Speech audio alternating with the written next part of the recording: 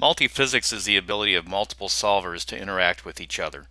A good example of this is the ability of FEMAP flow and thermal to run fully coupled, passing off surface and fluid information between them. There is no longer any guesswork in defining heat transfer coefficient and gas temperature distributions for thermal analysis since the flow solver provides that information directly to the thermal solver. The thermal solver in turn passes heat flux information back to the flow solver.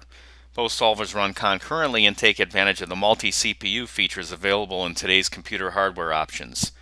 During the solution, the user gets real-time XY plots showing all convergence characteristics, as well as a solution monitor that provides a summary of the current solution statistics and results. The value of this is that you know exactly where the solver is doing at all times and can assess convergence characteristics in real time to either estimate completion time or to pause the solution and change solution parameters. Let's now move on to our last demonstration, where you'll see the power of coupled FEMAP thermal and flow in an electronic system cooling analysis application. This is a simple electronics enclosure. We're looking at the sheet metal case. You can see a hole for the outlet fan. And if we look on the other side, the upper portion of the back side is open. It's actually a vent. And we've got a motherboard and then three cards. They're installed with uh, card edge guides. You can see the mesh is very simple. This is just a system level thermal analysis of the electronics enclosure. Uh, we have not even included any of the components on the boards. Let's review the thermal and flow entities here, starting with the fan.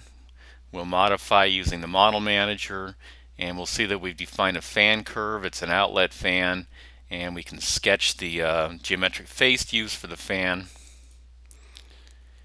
And let's review the fan curve. And we see that I've defined a simple linear fan curve here, and we can plot it out and see what it looks like. Uh, 0.05, uh, I guess that's cubic meters per second.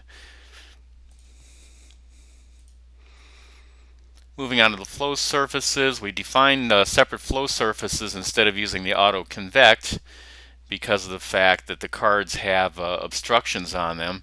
So we define a PWB flow surface property, which we'll review in a minute, but we'll go ahead and sketch the geometric entity use, entities used for the cards. Pretty straightforward. Let's review the PWB surface properties. and we see that we have uh, basically a 10 centimeter characteristic roughness on the surface. So instead of meshing all of the components on the surface, we're saying that we've just got a characteristic roughness equal to the average height of the components. Uh, looking at the case flow surface, this is of course the outside surfaces, and we have a case surface property that's been defined that uh, is just very smooth. Finally, we have the motherboard flow surface. It again uses the PWD flow PWB flow surface properties, and we can sketch that. We have a non-geometric element we've defined. That's another option within flow and thermal. It's just a thermal node sitting out there without any geometry or anything associated with it.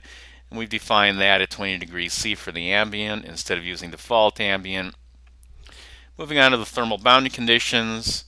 We've uh, just basically smeared 45 watts on the cards evenly. And we've put um, 5 watts on the motherboard.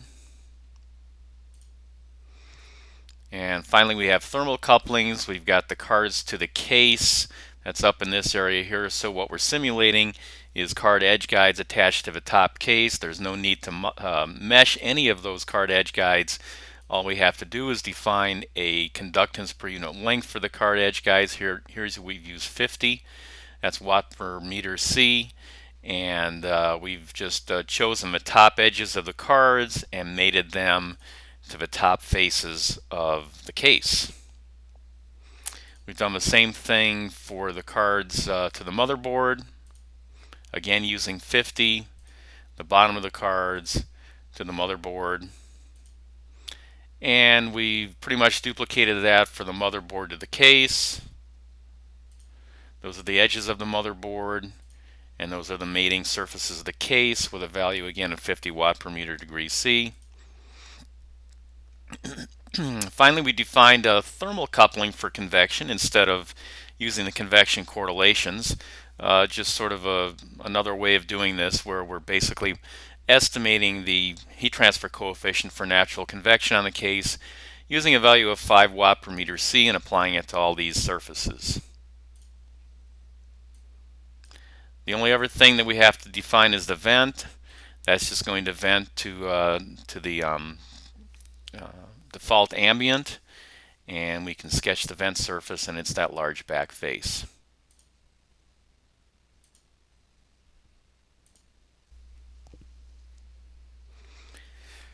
Let's go ahead and run this thermal flow analysis. Uh, of course, it's a relatively small model, so we can run reasonably quickly, but you'll see that it runs very quickly and gives uh, effective results, even though the mesh is sort of coarse. So it's putting the model together right now.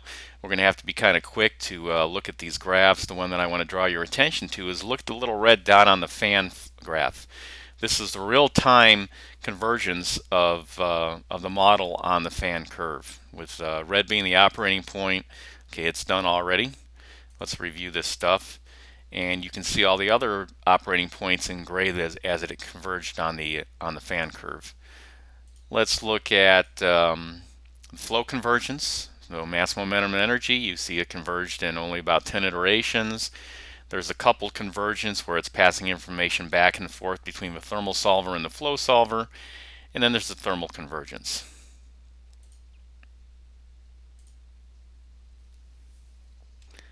Let's review the results. We'll start with a contour vector plot of velocity for the air. And we'll use uh, layers here instead of groups. FEMAP has layers and I've put all the air elements on another layer. I put the case elements on a separate layer. So what we're seeing here is a vector plot of velocity. You can see both direction and magnitude. Uh, the magnitude is of course purple, very slow, and uh, red high magnitude here is about 3 meters per second. We can also contour the velocity.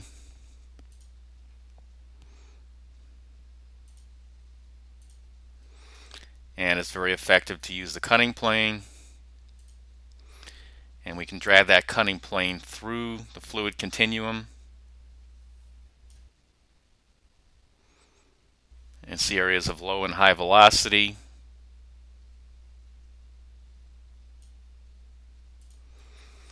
Let's also review total pressure to get a better understanding of the flow characteristics.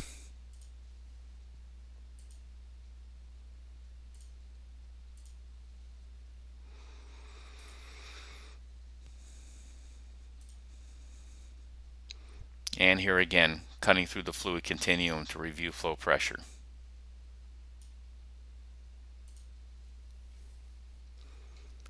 Wrapping it up with board temperatures, We'll select the thermal results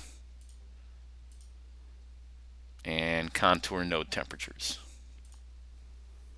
We'll turn off our air layer and we've got uh, both the motherboard and uh, the cards with their temperatures displayed in degrees Celsius.